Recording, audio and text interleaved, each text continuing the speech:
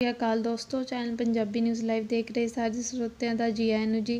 ਹੁਣੇ ਹੁਣੇ ਆ ਰਹੀ ਇੰਨੀ ਵੱਡੀ ਖਬਰ ਖਬਰ ਨੂੰ ਸ਼ੁਰੂ ਕਰਨ ਤੋਂ ਪਹਿਲਾਂ ਜਿਨ੍ਹਾਂ ਨੇ ਚੈਨਲ ਸਬਸਕ੍ਰਾਈਬ ਨਹੀਂ ਕੀਤਾ, ਉਹ ਸਬਸਕ੍ਰਾਈਬ ਕਰ ਲੈਣ ਤੇ ਵੱਧ ਤੋਂ ਵੱਧ ਲਾਈਕ ਐਂਡ ਸ਼ੇਅਰ ਵੀ ਕਰ ਦੇਣ। ਹੁਣੇ ਹੁਣੇ ਇੰਨੇ ਰੁਪਏ ਸਸਤਾ ਹੋਇਆ ਰਸੋਈ ਗੈਸ, ਲੋਕਾਂ ਨੂੰ ਮਿਲੇਗਾ ਸੁੱਖ ਦਾ ਸਾਥ ਦੇਖੋ ਪੂਰੀ ਖਬਰ। ਦੇਸ਼ 'ਚ ਘਰੇਲੂ ਐਲਪੀਜੀ ਸਿਲੰਡਰ ਦੀ ਕੀਮਤ 'ਚ 10 ਰੁਪਏ ਦੀ ਕਟੌਤੀ ਕੀਤੀ ਗਈ ਹੈ। ਇੰਡੀਅਨ ਆਇਲ ਕਾਰਪੋਰੇਸ਼ਨ ਲਿਮਟਿਡ ਨੇ ਕਿਹਾ ਹੈ, ਨਵੀਂ ਕੀਮਤਾਂ 1 ਅਪ੍ਰੈਲ ਤੋਂ ਭਾਵ ਕੱਲ੍ਹ ਤੋਂ ਲਾਗੂ ਹੋਣਗੀਆਂ। ਦੱਸ ਦੇਈਏ ਕਿ ਹਾਲ ਹੀ ਦਿਨਾਂ ਵਿੱਚ ਐਲਪੀਜੀ ਪ੍ਰਤੀ ਸਿਲੰਡਰ ਵਿੱਚ 125 ਰੁਪਏ ਮਹਿੰਗਾ ਹੋਇਆ ਹੈ। ਦੇਸ਼ ਵਿੱਚ ਗੈਸ ਦੀ ਕੀਮਤ ਇਸ ਸਮੇਂ ਦਿੱਲੀ 'ਚ 819 ਰੁਪਏ ਪ੍ਰਤੀ ਸਿਲੰਡਰ ਦੀ ਦਰ ਨਾਲ ਵਿਕ ਰਹੀ ਹੈ। ਹੁਣ ਇਸ ਦੀ ਕੀਮਤ 809 ਰੁਪਏ ਹੋਵੇਗੀ।